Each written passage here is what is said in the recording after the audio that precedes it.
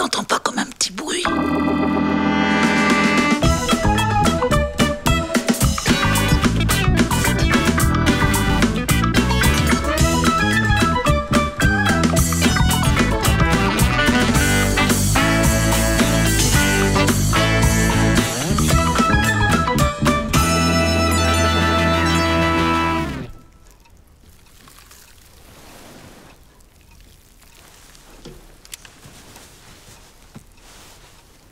mais je t'assure, Robert, je t'assure, si t'écoutes attentivement, il y a comme un petit bruit.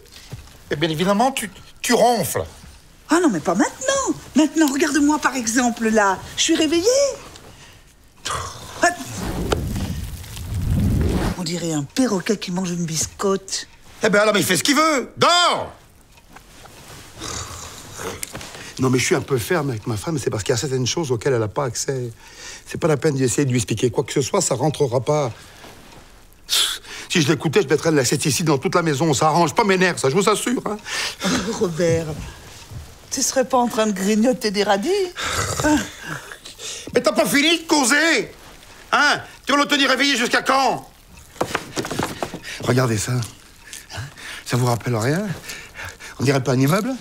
Enfin, bon, bref. Hein. Ben, ça, c'est une termitière, à peine croyable, hein, que je vous explique. Un œuf de termite, ça meurt à plus ou moins 1 degré. Or, là-bas, en Australie, la journée, il fait 45 degrés et la nuit, moins 10. Je sais pas si vous voyez l'écart de température. hein. C'est un peu comme si on, faisait dormir nos gosses dans un bac à glaçons et qu'on les sèche dans la cheminée.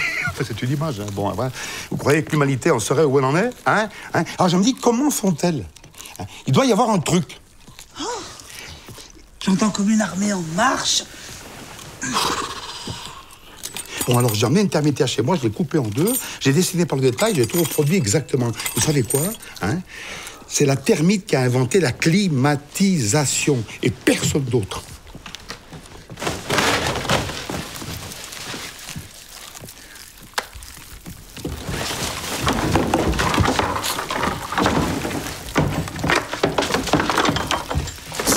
Ça fait pas attention, ça, ça, c'est la décoration de ma femme. Ça, c'est- ça, c'est alors. Alors, n'importe quoi. Bon, alors.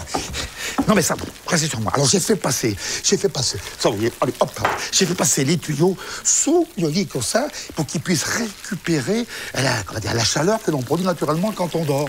J'ai l'impression qu'on est 500.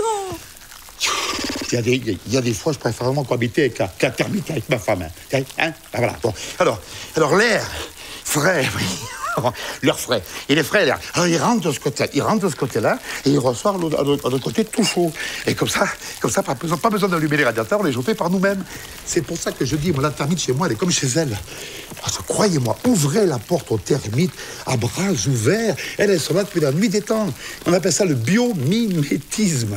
Et là, vous ferez des économies. Là, quand je ferme les yeux, je suis à Pompéi, Robert.